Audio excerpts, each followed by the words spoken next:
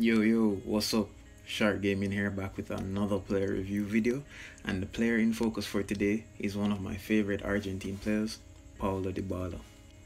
In my opinion, he is a younger, less consistent version of Lionel Messi and acts as a playmaker ranging from positions such as left mid, right mid, right wing, left wing, attacking mid forward, second striker and even striker. My two favorite positions to play him in are second striker and attacking midfield, as he offers a lot going forward.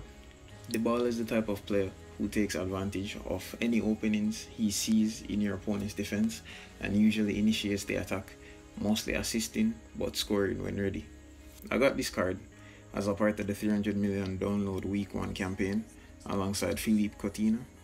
I am aware that another featured card was released yesterday and from what some of my subscribers are saying, the campaign featured card is better than the club selection version. So uh, I'm glad that I didn't get him in the club selection. I maxed him out at 97 and he's coming from 92 his stats are pretty impressive and resembles that of Lionel Messi's stats even to the point where the only not so good stats are the heading and the jumping ability which was most likely a result of his height his defensive stats aren't encouraging, but from what I've seen by using him in game, he's very aggressive and often intercepts the ball and initiates the counter attack.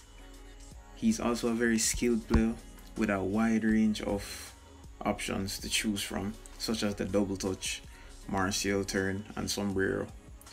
If you aren't too fancy on using skills like myself, you can always use the speed dribbling to pass your opponents that's what I use majority of the time. It's not gonna work hundred percent of the time, but it's better than nothing, right?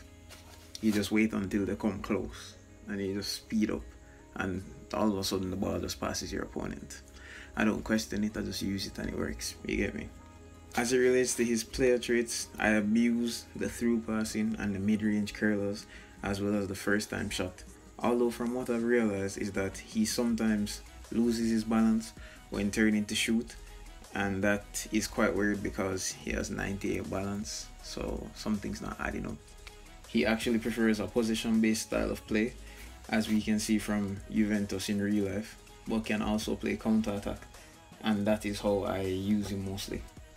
He's an absolute beast on set pieces such as free kicks penalties and corners but sadly I didn't get any in-game free kicks other than on the training ground but on the training ground, he was pretty solid.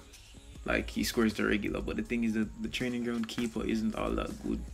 So I'd, I'd really judge my players based off of what I see on the training ground because training ground and online matches or even tour matches are like totally different games. I actually prefer to play him in attacking midfield because he tends to sit back and intercept the ball, dribble on the break, and either distribute the ball to the flanks through pass forward or even take on some defenders for himself and take some shots, similar to Lionel Messi, Kevin De Bruyne, or even Marco Reus. The baller can score long shots, curlers, power shots, and almost any single shot that you can imagine. But the safest way to use him is the first time shots on the top of the box. But if you're 1v1 meaning that you versus the keeper all you have to do is get a good angle and just curl the ball around the keeper. It's almost impossible to stop unless it's a keeper like Alisson where his reach is really really good for some strange well he's not for some strange reason. He's actually a very tall player and even in real life you can see that he actually he himself charges um opponents at an angle so that he can cover the curls. So I guess maybe if you're playing like a keeper like Alisson you could try to the 1v1 would more likely just be a regular shot, but you go for near post instead of curls. I hope that this review was helpful. Do comment down below which other players you'd like for me to review. Don't forget to like the vid. I'm out.